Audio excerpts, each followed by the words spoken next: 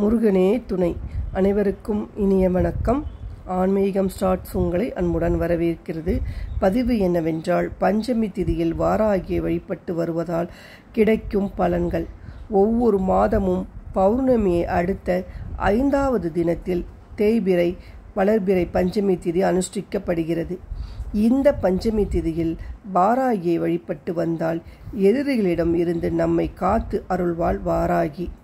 அன்றாட வாழ்க்கையில் எதிர்கொள்ளும் மின்னல்கள் இடர்பாடுகள் எதிர்ப்புகள் அனைத்தையும் வெற்றி கொள்ள வைக்கும் வழிபாடு தான் வாராகி வழிபாடு. நம்மை துன்பங்களிலிருந்து விடுபட செய்யவும் எதிரிகளிடமிருந்து நம்மை காக்கவும் வாராகி வழிபாடு சால சிறந்தது.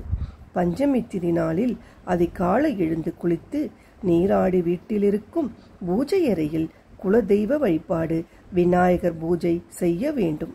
விரல் விரலி மஞ்சள் குங்குமம் வைத்து வழிபடலாம்.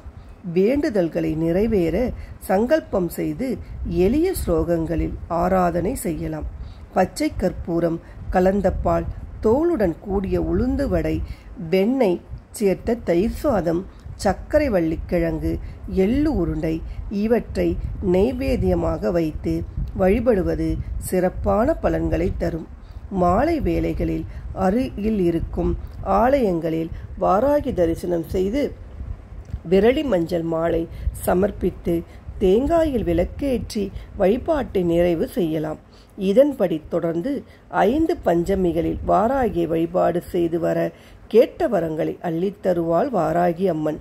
மேலும் அன்றைய தினத்தில் நம்மாள் என்ற அளவு அன்னதானம் செய்வது பானகம் நீர்மோர் வழங்குதல் இவற்றையும் செய்திட வாழ்வை குளிர்ச்சியாகவும் இனிமையாக்கவும் ஆக்குவாள் வாராகி.